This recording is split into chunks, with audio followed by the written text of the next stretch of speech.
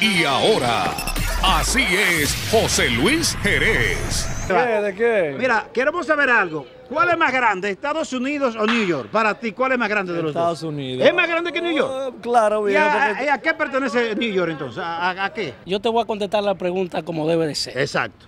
Estados Unidos incluye los 52 estados. No, ya usted se equivocó porque son 50. Yo no sabía. Estados Unidos entero. Entero. ¿Cómo que aquí? Acá está, está Estados Unidos. Entonces, por eso yo quiero saber cuál de los dos es más grande, si Nueva York o Estados Unidos. No, no, yo te voy a hacer una pregunta a ti. es ¿Cuál es la capital de Nueva York? Ajá. Yo- eh, Es Albany. No, vamos, vamos, vamos. Está activo, Ok, ok, está ok. A- a activo. usted. No, New York no, Estados Unidos más grande. Es más grande que New York.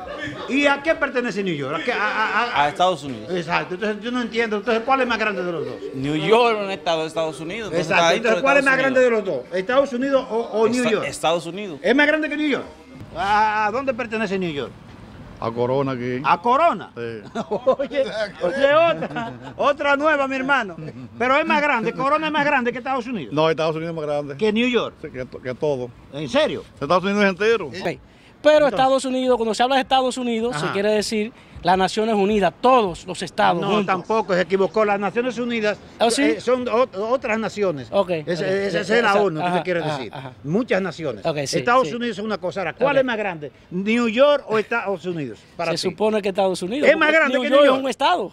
Así es José Luis Jerez.